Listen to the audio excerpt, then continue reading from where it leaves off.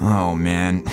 I look like a toddler. Okay, so this is the 7th gen X1 Carbon, and even though it's, you know, more or less focused at business people, personally, I think it's the perfect EDC laptop, and I'm gonna tell you why, but first, a big thank you to my new sponsor, scdkey.com, which is where I actually get all my games and software keys from at heavy discounts. So keep watching till the end for a Windows 10 discount code I managed to snag for everyone. So first off, thanks to its carbon fiber chassis, it's crazy lightweight at just under two and a half pounds, which means you'll hardly notice it in your bag. Then, thanks to its thin 14.9 millimeter design, it'll fit like damn near anywhere. And because it's got this minimalist design aesthetic with a matte black paint job, you know, people might actually think you're smarter and more sophisticated than you actually are. At least that's the effect I hoped it would have for me.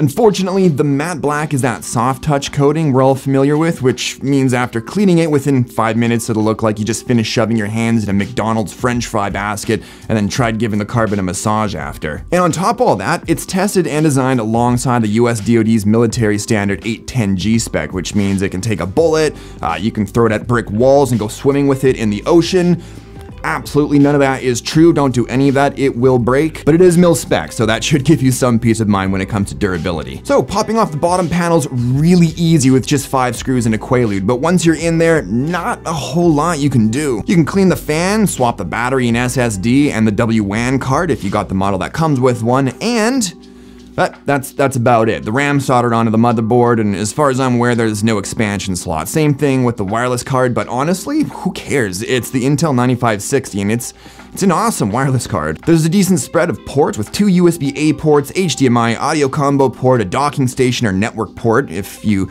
get the dongle. Yeah, I know. And then two Thunderbolt 3 ports. There's five different 14 inch display options you can pick from. My review unit's outfitted with a low power 400 nits 1080p IPS panel. It's a bit sweet and sour because it's got nice color gamuts and great max brightness on a 60Hz panel, but that response time is slow, like Mr. Magoo slow. So you'll see a fair amount of ghosting if you're scrolling too fast or like whipping around the mouse cursor, but looking into reviews on the models with the QHD and UHD resolution displays, they don't seem to have that issue. So if you're more sensitive to stuff like that, it might be worth the upgrade in display. And then at the top of the display, there's your standard garbage quality 720p webcam, but they've tossed in one of those sweet sliding covers, so shady folks who don't like to mind their own business can't perv out on you without paying first.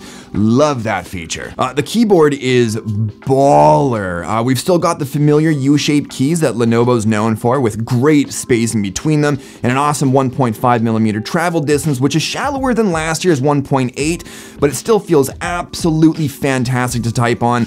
Love, love, love this keyboard. So the red Russian nip's still there, otherwise known as the track point, for me, it's just fun to play with because I still can't seem to get used to it.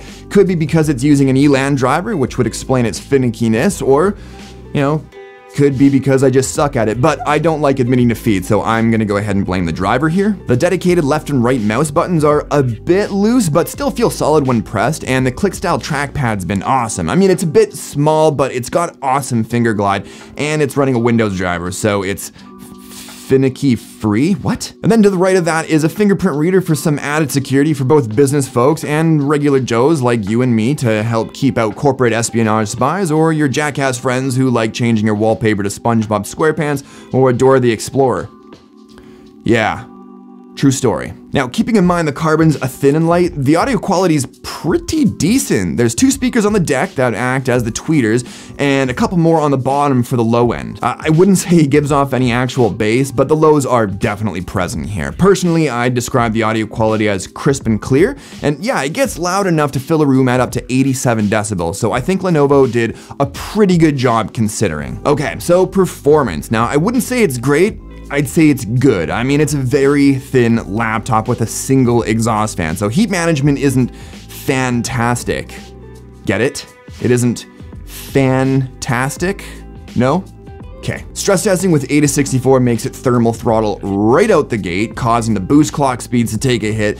But here's the thing it actually fluctuates up and down quite a bit. So while it kind of starts out at about 3 gigahertz, it'll slowly climb up to 3.8 for about 5 minutes, then drop back down to between 3 and 3.2 gigahertz, but averages out at around 3.5, which is pretty gosh dang decent. And that's with a hot but average temperature of 89 degrees Celsius. But to be clear, I highly, highly doubt anyone's gonna be running a workload equivalent to the stress test with what this laptop's designed for.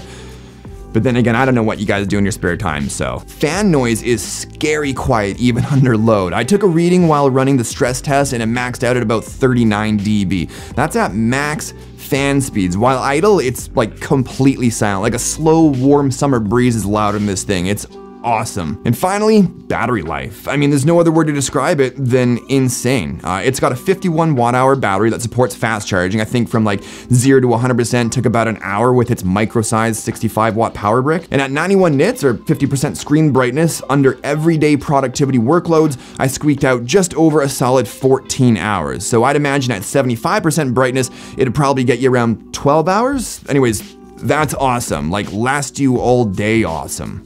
Games and software licenses are expensive, but they don't have to be. SCDkey.com is an online game key and software license shop that I've legit been using as my main go-to for at least the past couple years. I've used them to buy every single game I own, Windows 10 licenses for friends, and even my own personal gaming PC. So let's say you just built a new gaming rig, or maybe something a little more reasonable for dear old grandma. Just search for Windows 10, boom, Windows 10 OEM Global for under 13 bucks. Hit the buy now button button and enter my promo code JB20 for an instant 20% discount. Click submit order and simply pick your payment method poison. Job done. Grandma's gonna be stoked. So stop spending more money than you have to and hit up the link in the description to get the goodies. SCDkey.com. The S is for savings. I I think.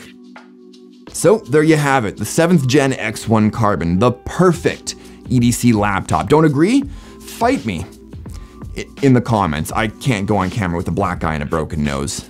No. But that does it for this one. I hope you liked the video. If you did, show me some love with that like button, subscribe if you're new to my stuff, and don't forget to follow me on Instagram to see what I'm up to next and some behind the scenes goodness. But thanks as always for watching, and I'll talk to y'all on the next one. Cheers.